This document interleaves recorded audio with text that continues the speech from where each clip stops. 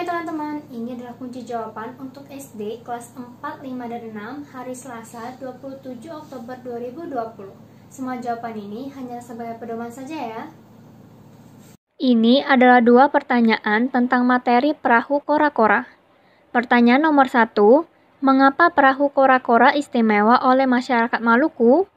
Apa keistimewaan perahu kora-kora oleh masyarakat Maluku?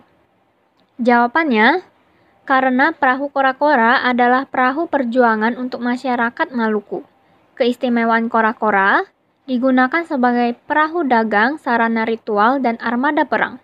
Merupakan kapal kebanggaan Sultan Ternate dan digunakan dalam festival.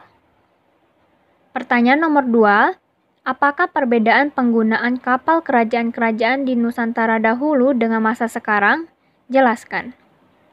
Jawabannya, pada zaman Kerajaan Nusantara, kapal digunakan sebagai armada perang untuk memperluas kekuasaan dan perdagangan.